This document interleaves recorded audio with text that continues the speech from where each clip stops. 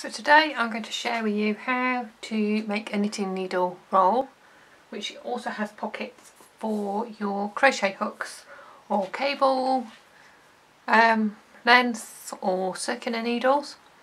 So the roll is made of one piece of fabric as your base fabric which is 14 inches wide and this piece was um, 44 inches long. Then on the inside of the roll we're going to make a pocket for the knitting needle, knitting needles. Just and I will show you how to do this in more detail in a minute. So for the inside of the bag you're going to need two pieces of fabric, one for your crochet hooks. This is a small internal pocket and a piece to go on the top and enclose this edge here for your knitting needles. And then the outside of the roll is going to have two pieces of fabric purely for decoration. So the first thing we need to do is to iron all our edges of our contrasting fabrics. Right, so the ironing of the edges. Let's start with the fabric for the outside of the roll. This is our first piece of decorative fabric. We just need to fold in an edge. Now in terms of getting a straight line, if you've got a printed pattern, you can follow that pattern. Alternatively, if you decide you're going to make quite a few of these, if you're making them as gifts, you might want to get a slim piece of cardboard and place your cardboard in as a straight edge to press to.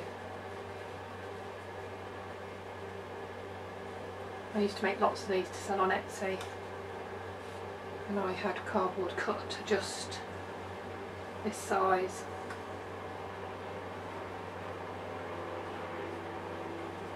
To be honest, this going on the outside of the roll, nobody's really going to notice if you've got a 100% straight line or not because it's rolled.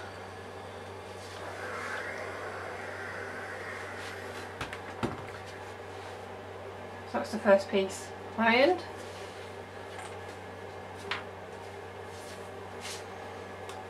And let's iron the next for the outside. This print isn't so easy to follow.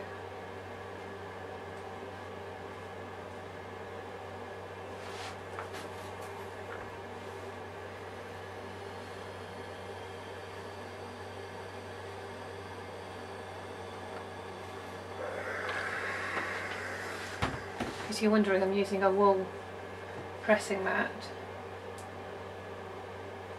which is a newly acquired purchase and I love it.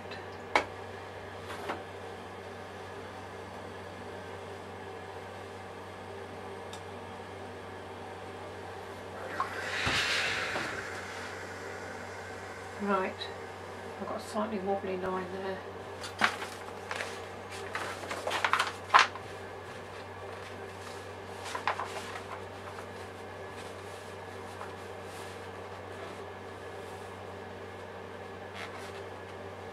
A little bit straighter, there we go.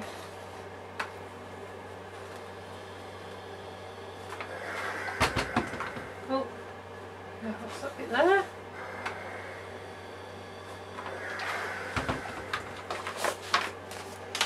There we go. Right, so that's our outside decoration pressed. Now for the inside.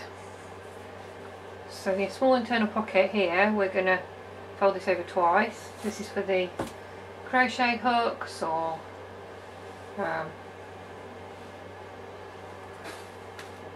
round needles, whatever suits your needs really. Right, so I've got a straight line.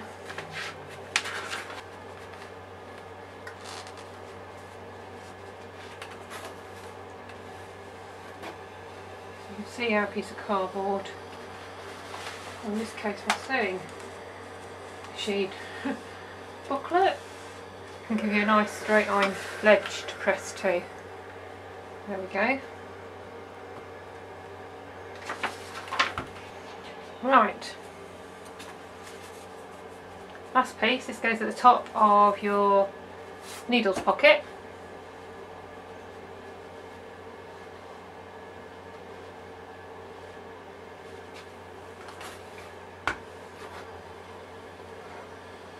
So this you just need to press in one one turn.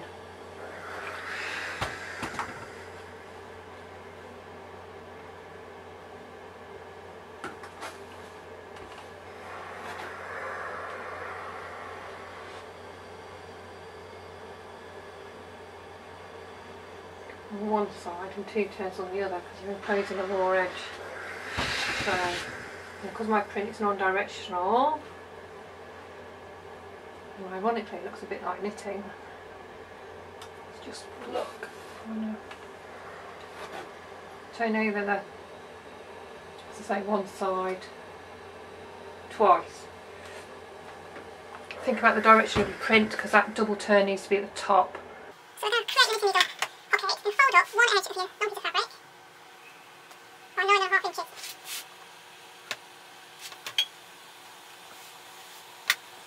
Approx.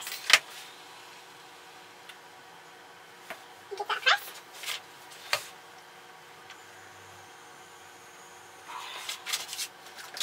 Then we're going to take our contrasting fabric and wrap it around this edge here, enclosing that edge.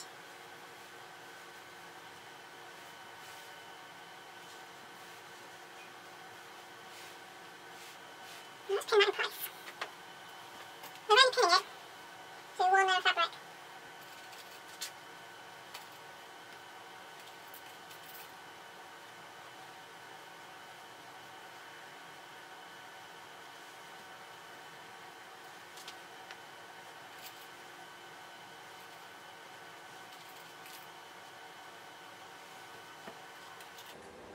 And we're to stitch that in place just through the one layer. So you see how you've enclosed your raw edge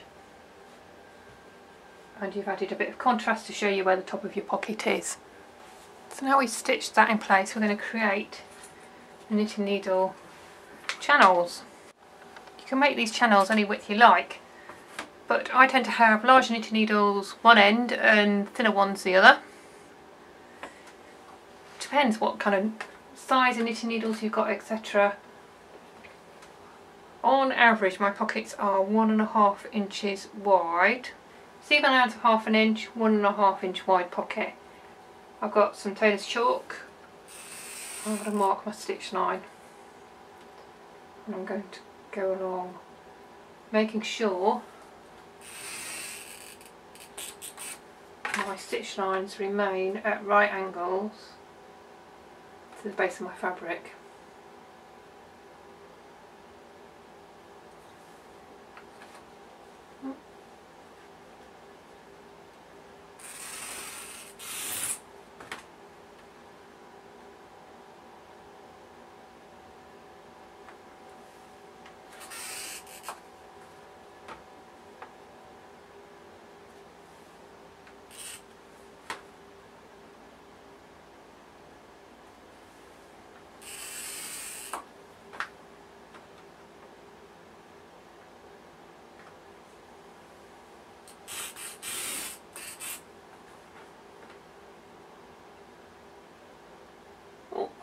It's going to be slightly wider on the end there.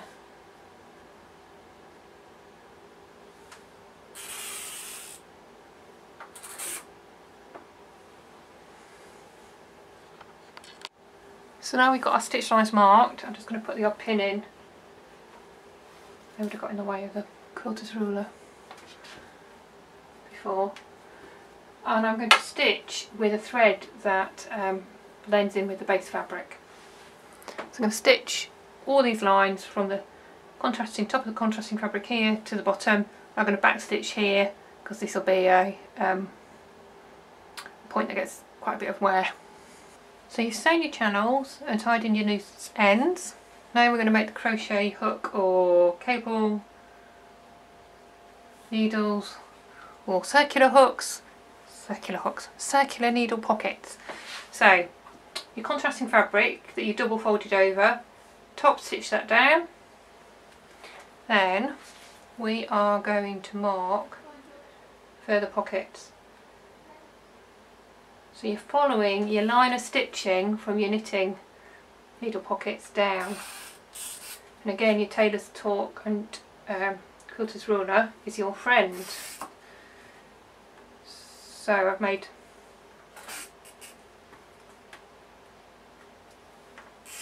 depends what you're using these for as to how many you're going to go for. But it's important you follow your knitting needle channels because otherwise you're going to make these too small for your knitting needles. So I've gone for one large skipping a line second large skipping a line and then four smaller.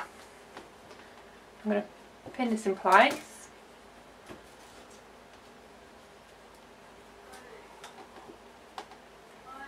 and stitch from here, back stitching at the top again, down to the bottom. Once you've sewn your channels in for your smaller pockets, we are going to add our decorative fabric to the outside of the roll. So that goes on the other end.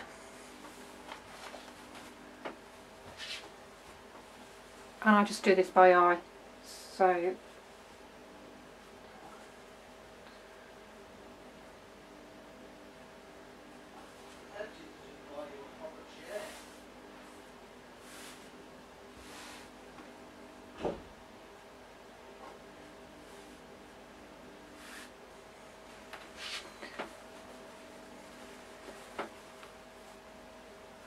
So it's one long piece of fabric that we're going to fold in half. So let's pin these on. It is, to give you a guide, four and a quarter inches from the bottom and then a half inch gap between the two fabrics. So I'm going to pin those on and then top stitch them in place.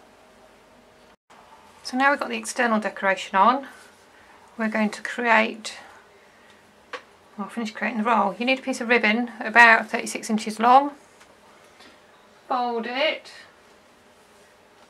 um, I'm just doing this by eye, let me measure it for you. So you need a slightly longer piece to go all the way round and one piece, well it's one piece in all, folded, at 12 inches. Right, I want to keep this out of the way so we don't catch it in the side seams. Fold your fabric so it's right sides together. I like to do it from the back so I can see this overlap here. We need enough of an overlap so we can fold it over and fold it over again to enclose the raw edge when we're finished. Now, this is quite a short roll. I like to use my quilter's ruler again so I get a nice straight edge to stitch. That's at right angles to the top and the bottom of my case.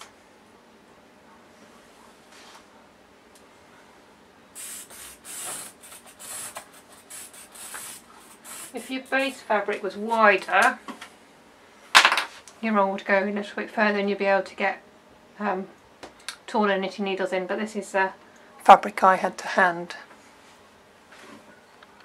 Once you've sewn your side seams we're just going to trim these into the, to the edge of the seam, being careful not to cut the stitches. It's just going to make turning the bag the right side out that much easier. And I'm just going to trim my seam allowance too. Let's turn it the right side out.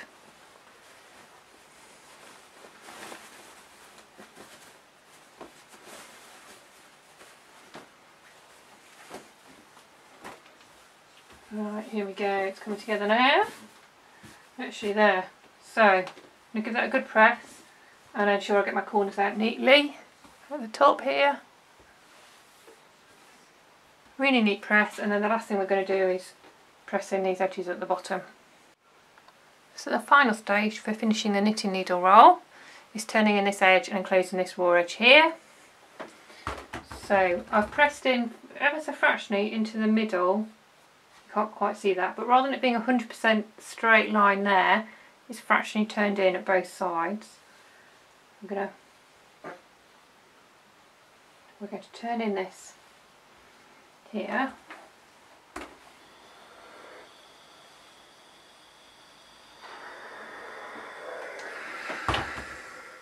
And then to turn it over again and pin.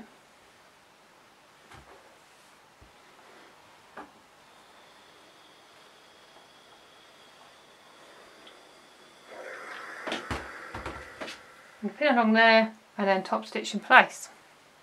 One finished knitting needle roll. So you can, um, if you want, you can accessorise by stamping numbers with fabric paint for your different size needles across here. You could across here go for plain fabric and number them. You could add ribbon, lace, make it a little bit more decorative. So I crochet as much as I knit. In fact, I probably crochet more than I knit nowadays. So I've got my crochet hooks, um, I've got my cable needles in here. I can't remember what you call these, but for when you putting some stitches one side. So to use the roll, fold over the top.